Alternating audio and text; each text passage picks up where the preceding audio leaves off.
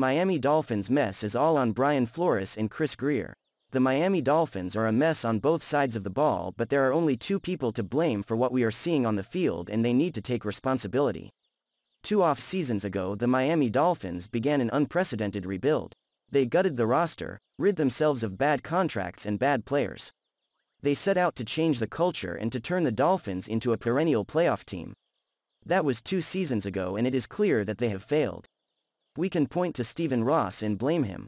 He hired Chris Grier and he hired Brian Flores but let's be clear, that wasn't the mistake that doomed this team. Grier and Flores failed to rebuild the roster and they failed to get the right players in place to win.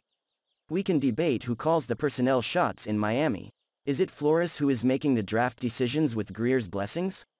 Is Grier giving Flores more say than he should? Is Grier making all the decisions? We don't know and no one cares. This is what we do know. Grier traded away Pro Bowl left tackle Laremy Tunsil for a bevy of draft picks and practically wasted all of them. He signed Kyle Van Noy to a big contract and then released him a year later because he no longer valued Van Noy at that price. He traded for Benardrick McKinney then reworked his contract and then cut him. He signed DJ Fluker, Jermaine Eluemunor, and Matt Skura. None of them made the final 53 and only Skura lasted to the final cuts. Two of them are producing as starters on other teams. That's bad enough but how about the money given to Jerome Baker? The restructured deal with more money for Xavier Howard? The huge contract that started the Howard issue that was given to Byron Jones? How about the massive deal for Jason Sanders? Of course, there is also Noah Igbinoghene, Austin Jackson, and Solomon Kindley. The jury is still out on Jevon Holland, Jaelan Phillips, Robert Hunt, and even Tua Tagovailoa. We also can't dismiss the trades that Grier made during the draft this past season. Holding the third overall pick, Grier moved down to 13 and added more first-round picks and that's great but he gave up one of those firsts to move up to 6 to take Jaylen Waddle. Waddle looks to be a good pick but consider this. Miami traded their own first-round pick to the Eagles in 2022.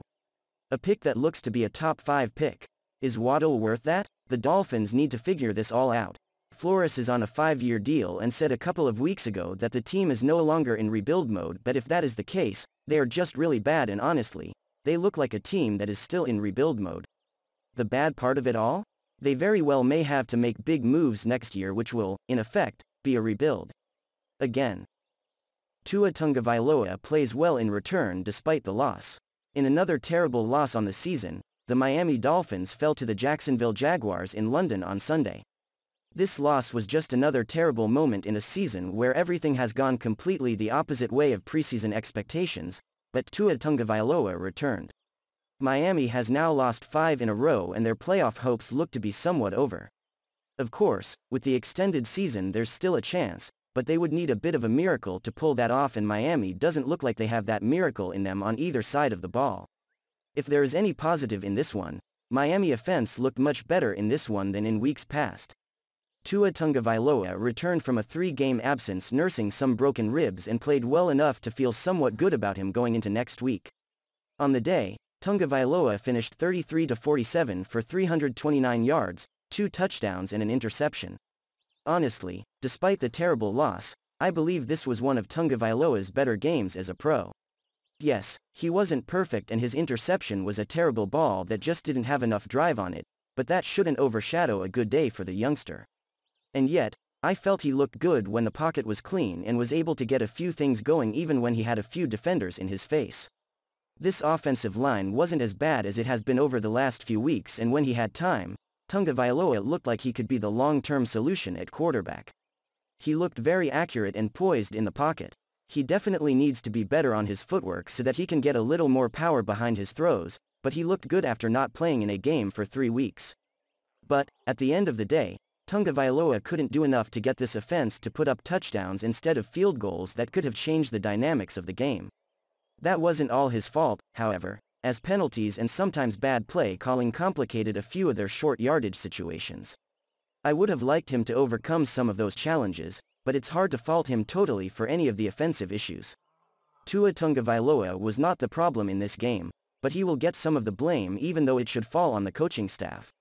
This team is not good right now, even when individual players are putting up solid performances.